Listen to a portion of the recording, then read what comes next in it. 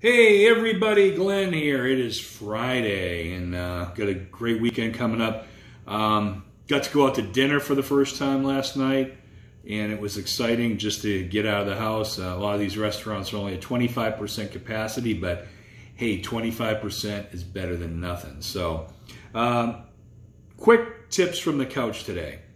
A lot of beginners, when they're learning chords, are not playing in tempo and trying to learn some basic songs because they're more concerned about switching chords in time or in tempo. Tempo being the speed at which you play at. So what I like to do is there's a couple of little mental tricks that you can do for yourself that will get you to be able to switch chords. The first mental trick that I like to do is think about switching chords before you have to. So in other words, let's take a song like Brown Eyed Girl. Great song that I use a lot with students because it's a song that you can actually feel like you're playing a song for the first time uh, that everybody knows. So it's also one of the uh, most hated requested songs by bands. And my feeling is if the audience wants to hear it, you play it. The audience wants to hear Freebird, you play it. Um, Mustang Sally, if the audience wants to get up and dance to it, play it. Don't make jokes. It's a hundred bucks to play Mustang Sally and 75 for Freebird and Brown Eyed Girl's $50. You're a musician. People like these songs. Margaritaville's the same thing.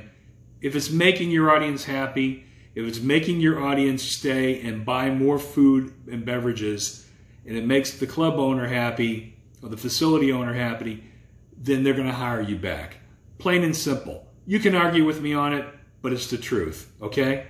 Every time we play Black Brown Eyed Girl, people love it in, in my, my entire career, and I will still play it. I'll still play Margaritaville. Why? People love Jimmy Buffett.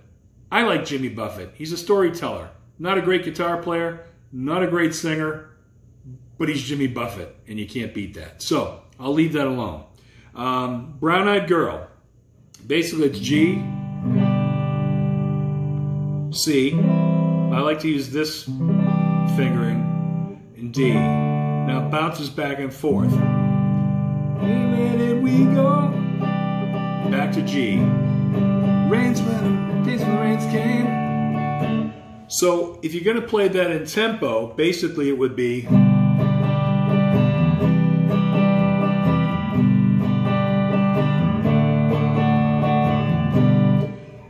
So how do you play that and switch the chords in time? Well, this is my trick. I used it with a gentleman years ago that was having a lot of trouble. He had a chord vocabulary, but he couldn't switch to the next chord. So you're going one, two, three, and switch. One, two, three, and switch. One, two, three, and switch. One, two, three, and switch. Now, starting out, you're not going to do it at the tempo that the song is required to be played at. So what you want to do is just start off slow. Get a metronome app. I use Pro Metronome. It's free for basic 4-4 and 3-4 time signatures. It's, it's pretty basic. So one, two, three, and switch. You lift off.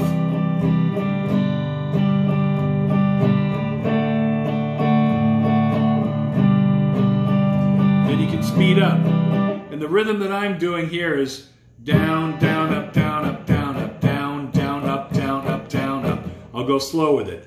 Down, down, up, down, up, down, up, down, down, up, down, up, down, up, down, down, up, down, up, down, up, down, down, up, down, up, down, up. Did you do that at home?